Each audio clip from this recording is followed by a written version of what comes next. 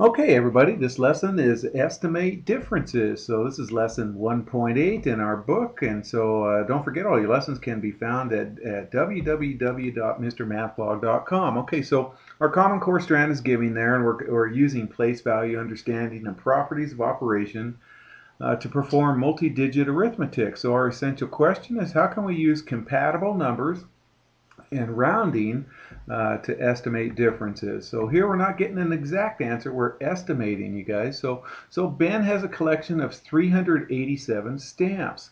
His brother has a stamp collection of 436 stamps. About how many uh, more stamps does Ben's brother have than Ben? Okay, kind of a tongue twister there.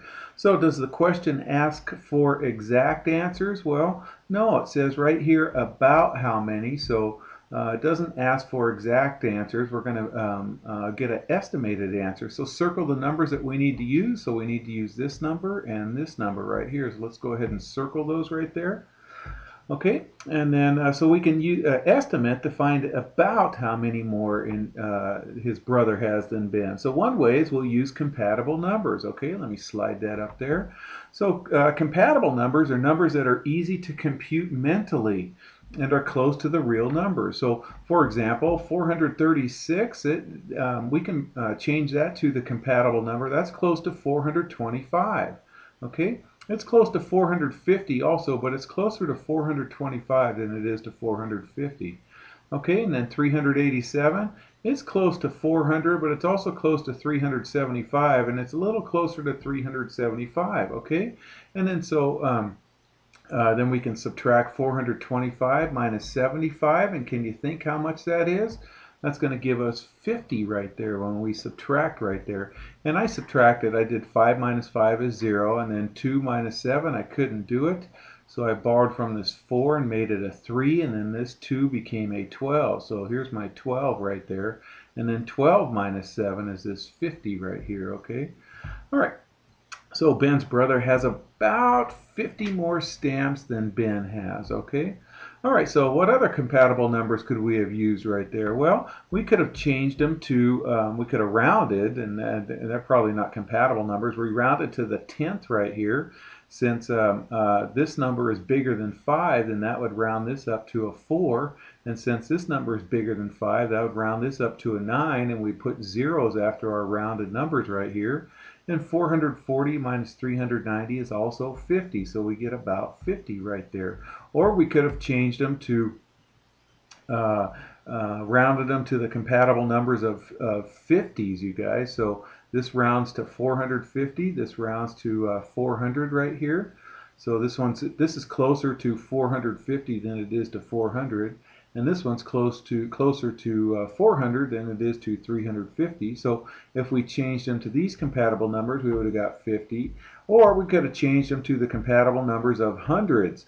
This is closer to 400 this is closer to 400 and we get zero as the difference right here. So uh, we know it's not zero so we'll, we won't use that one right there. This one is uh, is not as uh, uh accurate as as probably this one over here. But these get these three all give us about 50 right there, okay?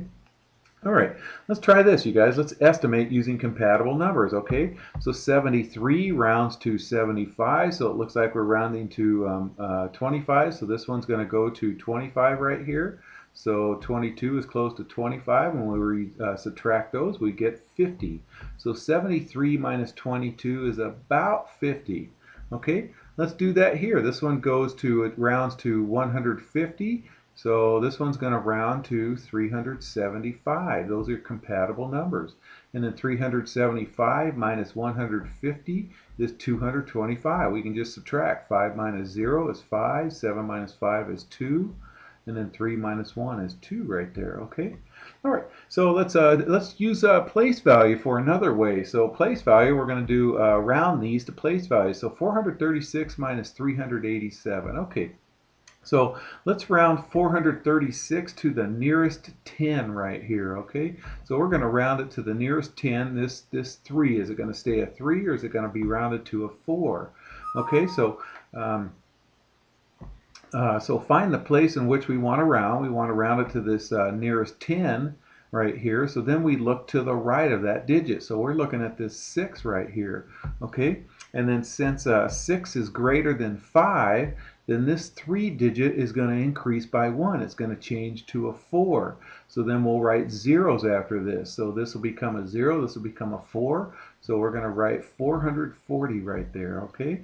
All right, now let's round uh, 387 to the nearest 10. So we'll just do the same thing. We're going to look at the number to the right at the 7 right there. And since 7 is greater than 5, then this 8 will get rounded up by 1. It increases by 1. So this is going to become a 9, and we're going to change this to a 0. So we're going to write 390 right there, okay? All right, let me just slide that over, and then the last step is find the difference of the rounded number. So 440 minus 390 gets us 50 right there. So 436 minus 387 ends up being about 50, okay? All right, so let's try this. Let's estimate uh, using place value to round. Let's keep going here. Okay, so we have 761 minus 528. Here's 642 minus 287. So we're going to round these ones to the nearest hundreds, you guys, okay? So let's round these ones to the nearest hundreds, okay? So 700 is closer to 800 than it is to 700. How about 500? Is it closer to 500 or 600? Well, 500 is closer to 500 right there. Okay, and this one got rounded up to 300 right here. Is this 600 going to be rounded to 600? or 700. Well, this is a little bit closer to 600 than it is to 700. Now let's just go subtract. 800 minus 500 gets us 300. And 600 minus 300 gets us 300. Okay? All right. So explain a different way we can uh, uh, round each number in that last example B to find a different estimate or another estimate. Okay, so here uh, what I did was I rounded this uh, rounded this to uh, that this was um, what we did on on rounding it to the hundreds right there. Well, what if we rounded it uh, to the nearest tens right there?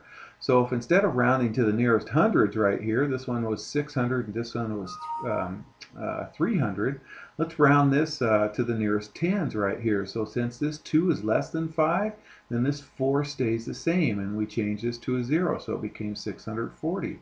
Since this, uh, we're going to round this 8 right here. Since 7 is greater than 5, then this becomes a 9 and this will become a 0. So 640 minus 290 gets us 350 right there.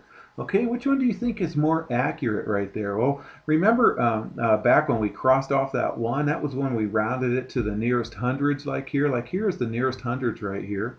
Here we rounded it to the nearest tens right here. When you're rounding to the nearest, uh, the smaller value, it, it, tends to be more accurate. Not tends to be, it always is more accurate. So this one would be, uh, well, not always, but most always is more accurate. So the 350 is, is more accurate. In fact, I think it's 355, so it's the exact answer right there. All right, you guys, I hope that makes sense, and take care.